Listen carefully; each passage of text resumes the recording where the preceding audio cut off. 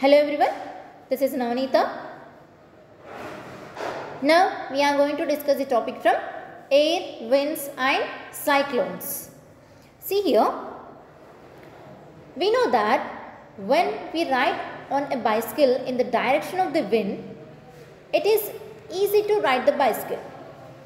But when we go opposite to the direction of the wind, it is very hard and we may tire easily. Try to get the reason here. How else does the wind affect and influence our lives?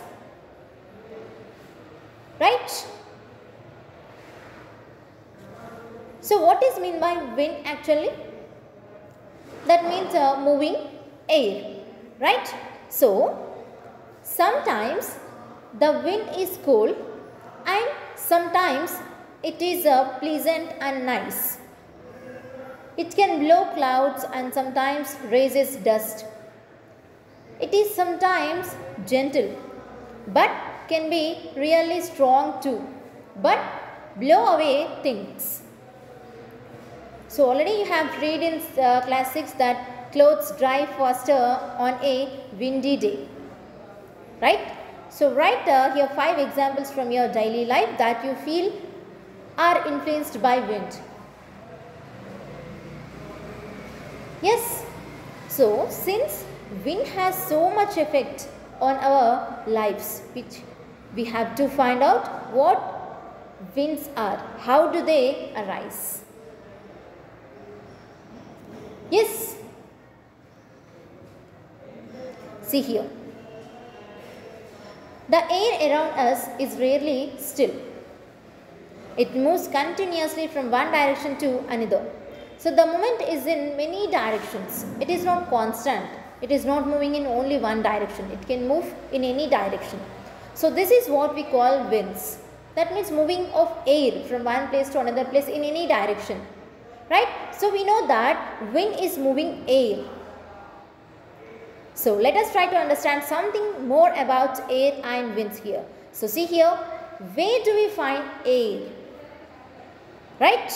So for this, take a bucket full of water and a transparent glass. Okay? So take a bucket full of water and one transparent glass. And take one paper. Okay? Crumple it into a ball. And push it to the bottom of the glass. So now invert this glass and immerse it into the bucket of water. So you can see here figure. So first of all we need to take a bucket full of water here and take one transparent glass and take a paper and crumple it into a glass.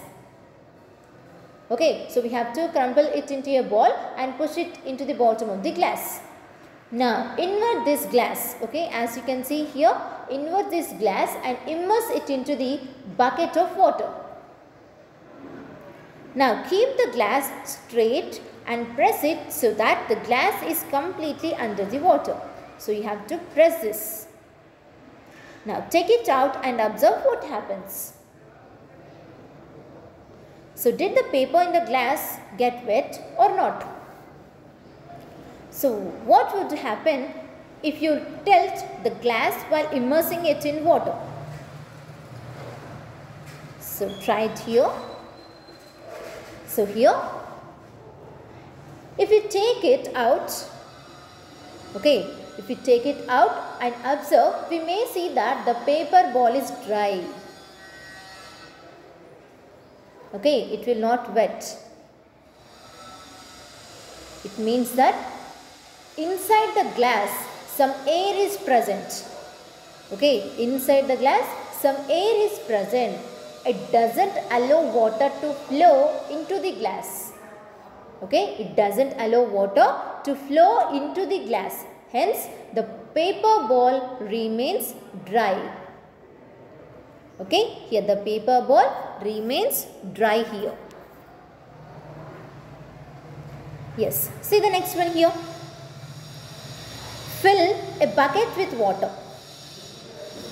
Okay, so first of all, take a bucket with water and take a bottle with a narrow mouth and immerse it in the bucket. Okay, take like this. Okay, take a bottle with a narrow mouth and immerse in the bucket. So we see that air bubbles come out of the bottle as the air enters in it. You can see here air bubbles come out. Okay, so we see the air bubbles come out of the bottle as the air enters in it. Okay, so any bottle, glass or any other container that appears empty is actually full of air. Okay, when any glass or any object when it is empty so actually it is uh, full of air only. So nothing can be added to it unless the air is inside is removed. Okay, it is only when some air is uh, removed that something else can enter. So when air is removed then something can enter into that water. Okay, so hence we can say that air occupies the space around us. Okay.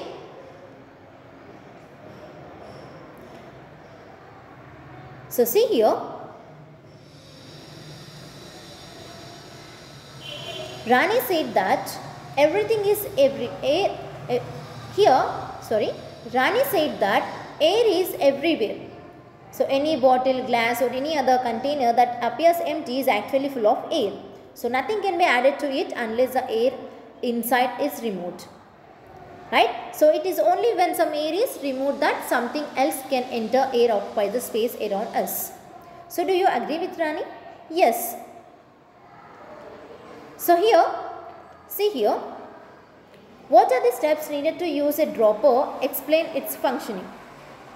See here, when we take the dropper, yes, when we take an empty dropper, so it is full of air so when we immerse it in water and we press the nozzle here, the air will come out. That means here we'll observe the bubbles, like air will come out like bubbles and the water will inside, move inside to the dropper. Okay. So when anything is not there means there air will be present. So when we immerse that uh, dropper in water and we when we press the nozzle the air will come out like bubbles into the water and the air will the water will move inside the dropper right? And here we know that a bicycle tube or tube of any other vehicle can burst when it is overfilled with air. Okay when it is overfilled with air it can burst out. So how does this happen? What does the excess air to the do to the tube? Yes. So how the air in the vehicle's tubes keeps them in shape? So here a bicycle tube can burst when it is overfilled with air. Right? So here if you take a balloon and fill it with the air, keep blowing more and more air into it. What would eventually happen? The balloon expands and after a point bursts. Right? So why does it burst? Can we say that this activity also shows that air exerts pressure? So give reasons for your answers. So list other expressions of situations. So here where air exerts pressure, for example, these may include a balloon being filled with air the air-filled football that becomes hard. So water racing through a hand pump, the tubes of the cycle, scooter or car, right? So think of other examples where we can see that air exerts pressure. So here, if we blow air into a balloon, it expands. When the air blown is heavy, the balloon explodes. So it is because of air exerting pressure. Right? So here with the help of air pressure only the balloon will ex explodes here right